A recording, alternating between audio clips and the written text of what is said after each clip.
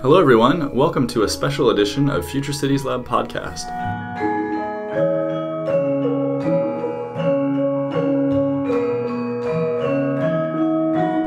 Today, we're going to be discussing Java. No, I'm not talking about coffee or the programming script. I'm talking about Indonesia. Java is the most populated island in this archipelago nation. Java, with over 140 million people, clustered on just 6% of the land area of Indonesia, represents a critical opportunity, a critical challenge for planners, designers, policymakers, the government to rethink the way urbanization is occurring in this part of the world. Now, when geographer Terry McGee coined his term desakota, he was actually inspired by the research he was doing in Indonesia, which unveiled a new form of urbanization which was not necessarily following typical models associated with uh, a clear separation between the city and the countryside, as in, say, Europe or North America. So, this desakota form has continued to this day, uh, probably um, expanded and even become more complex as cities in Indonesia have grown far outside their original boundaries, expanding into the countryside. But today we're going to be discussing future scenarios for how Java could evolve in more resilient and sustainable uh, development trajectories in the next 50 years, actually, until 2070.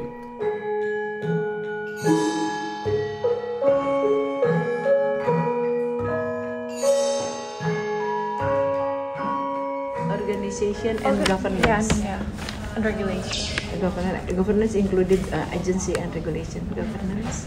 And what else? Infrastructure, organization and governance, economic cluster. Institution is here. So, we're going to be talking with some of the participants of this charrette, some of whom have actually come all the way from Indonesia to join us here, and then also some people in Singapore who have participated here. And first, we're going to be discussing this with the organizer of the charrette, Devisari Tunas.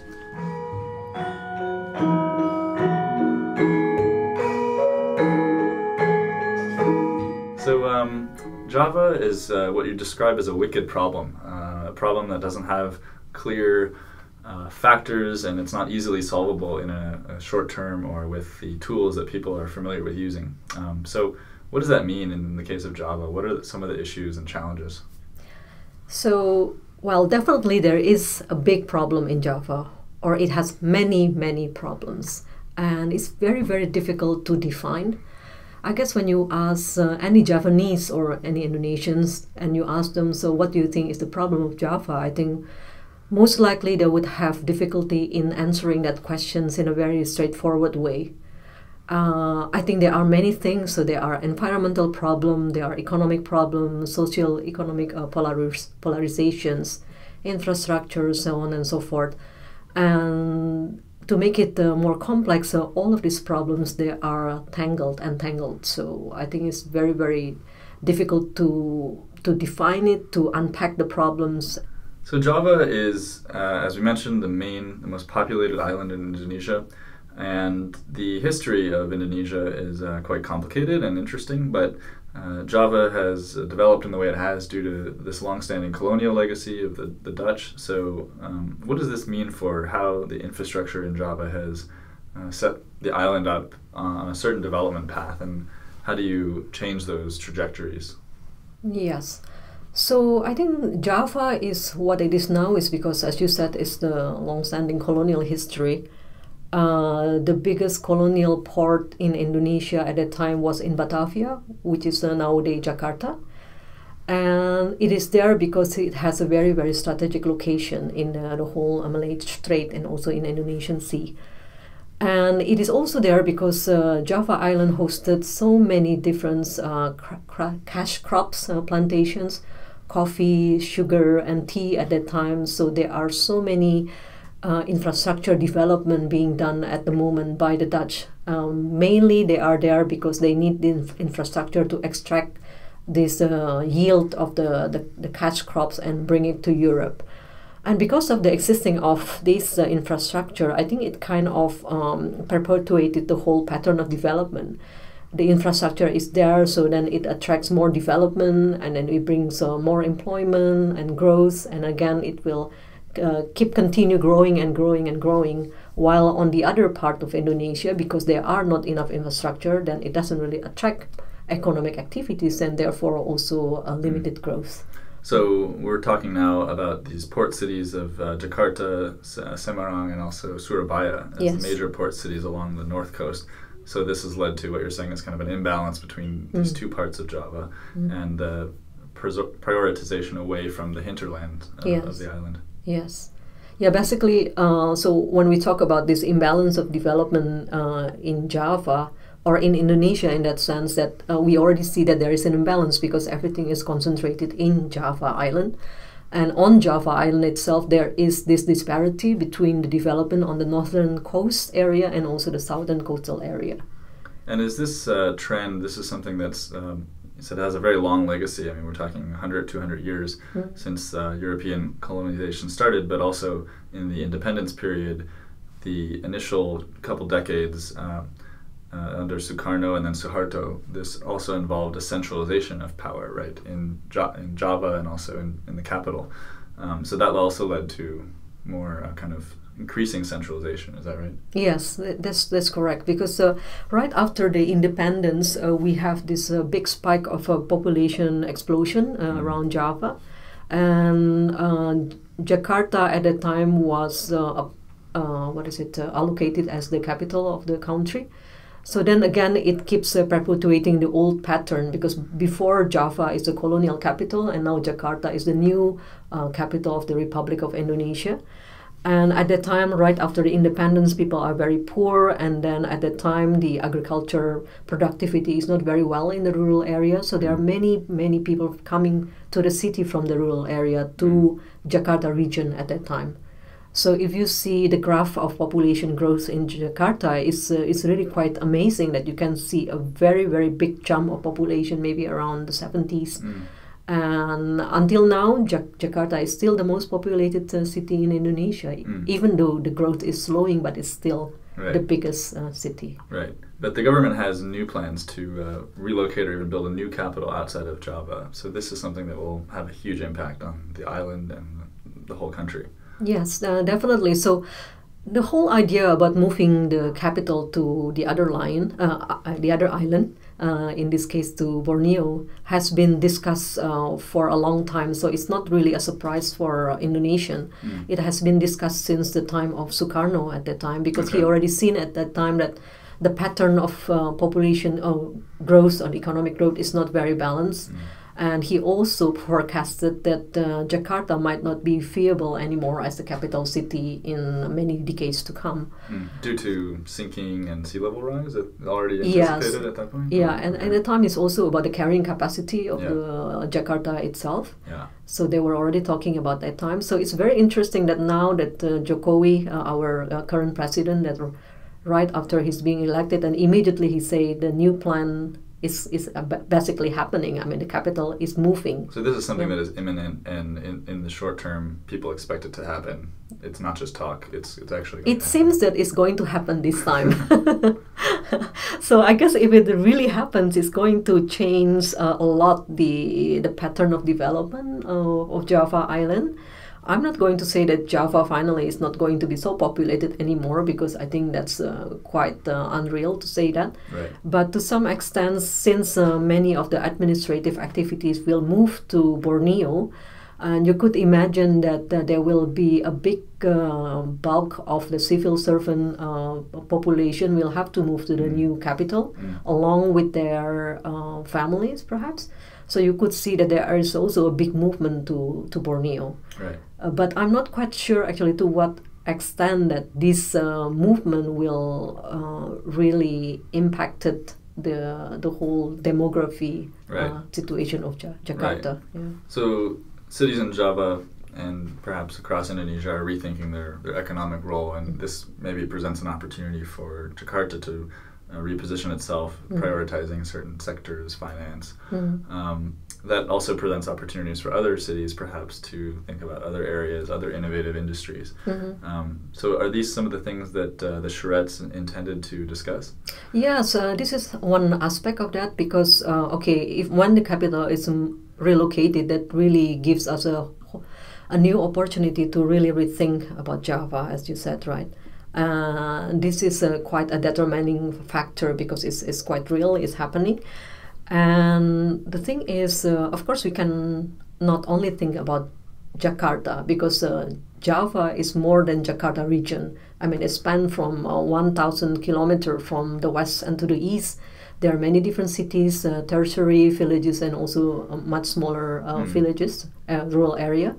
So I guess the whole uh, constellation of the settlement system is, is quite diverse. Mm. So Jakarta is only one part of it. Right. So I think if we want to think about the uh, development of Java in a more holistic way, we also have to look at the trajectory of the development of Mm. these different type of uh, settlements or Right. cities. And it's a unique uh, landscape. There have been numerous studies in urban planning, uh, most notably this Terry McGee, uh, who coined this term of the Desakota region, which means uh, an area that's not quite urban or rural, but it's a mix of both. It's a hybrid. So Java represents a kind of territory which has a lot of agricultural production alongside uh, high density settlements. So these areas present a, a risk, maybe, but also a challenge, an opportunity to think about new modes of development, new modes of urbanization. Um, so rice agriculture ma- remains a kind of vital source of, um, of income for people. Um, so that those are some of the things that you would balance, right, in terms of Yeah. how this development would, would occur. Yeah, I think that's one of the biggest problem in Java, as we talked about before, that it is uh, has the highest uh, population concentration in whole Indonesia, but it's also one of the biggest rice producer in Indonesia. Though. So in itself, there is a dilemma of uh, land use, whether it should be used for human settlement or agriculture. Okay. So at the moment, maybe it's still okay. We don't really have a food uh, shortage in in Java, but I think if we let uh, you know things happening business as usual, I mean, you will never know. Maybe there will not enough land for Right. agriculture anymore. Right. So we really have to think about it in a more proactive way. And I guess the charrette is uh, one platform to to rethink about what kind of uh, settlement system that we are looking for Java 50 years from now. So how do we integrate uh, the need for uh, uh, a good uh, agricultural productivity as well as a more uh, livable uh, urban settlements for for the population? What is this? buffers. So there are buffers around each of the volcanoes.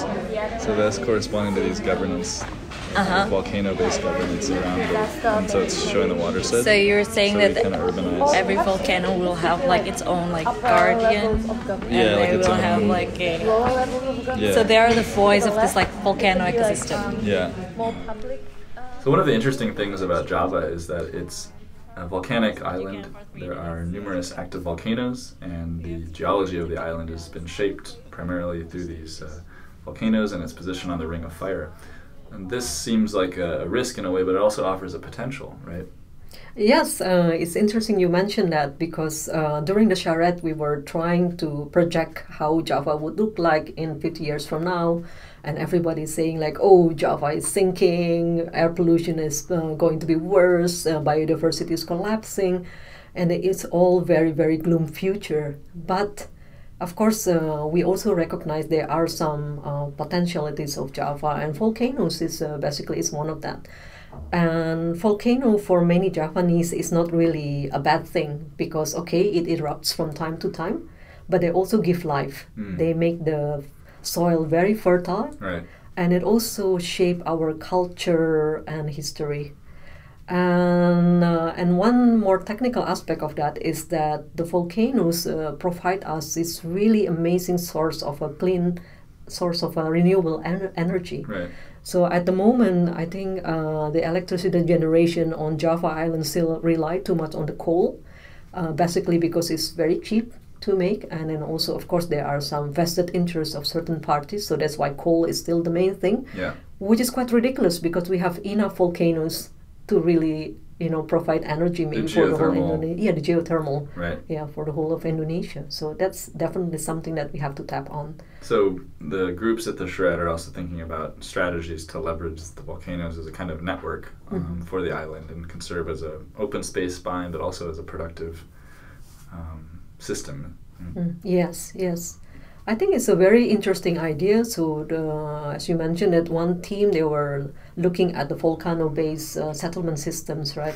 So they could uh, change character in terms, uh, in the case of a volcano eruption, and when the volcano is quite calm, Mm. they can also work on a different uh, dynamic. I thought it was very, very creative for this group to really think about it, and that really also uh, kind of emphasis that the volcano is a good thing as long as you can uh, learn how to live uh, with it and following the, Mm. the rhythm of the nature. So it's not something that they have to fight against, Right. but it's something that we should adapt to. Envoy, Indonesian envoy for climate change. Is it the envoy for the island? Or no, no, envoy, national envoy. national island? Okay. For climate for change. climate change, and we propose an envoy for the island. And then below that, I think should be volcano stewards or something. Yeah, climate change. Volcano and river. So it's Volcano and river volcano-based communities. Okay, so we are building the commitment and consensus. The consensus. Consensus. So the charrette was organized uh, here at Future Cities Lab and uh, brought together people from both in Singapore and outside, right, to come and discuss the future. And some of these people had quite a bit of experience actually working on these issues in Indonesia. Yes, we we did have uh, over thirty partic- participants coming for the charrette, and there are um, many of them are uh, native Javanese, so that's quite uh, incredible to have the local insights. And they also have uh, people from Europe as well or from Singapore, and they're coming from a really diverse, uh, multidisciplinary background. So we have economists, we have computer scientists, we have ecologists, planners, architects, and so on and so forth, and they are very different from one another. But they do share one thing in common. They do share uh, a sense of urgency. Should we also visualize the clusters here? Like how they are integrated with one another? The way.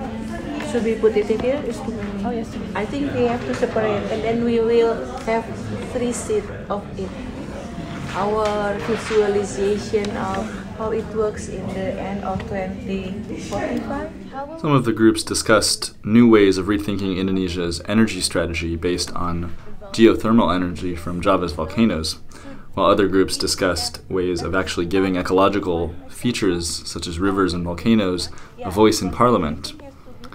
These groups debated how to implement their proposals as well, considering how the political landscape of Indonesia will change both in the short term, in the next term of uh, Joko Widodo, but also looking forward to 2070. Dr. Hendricus Andy Simarmata is vice chairman of the Center for Urban and Regional Studies at the University of Indonesia in Jakarta.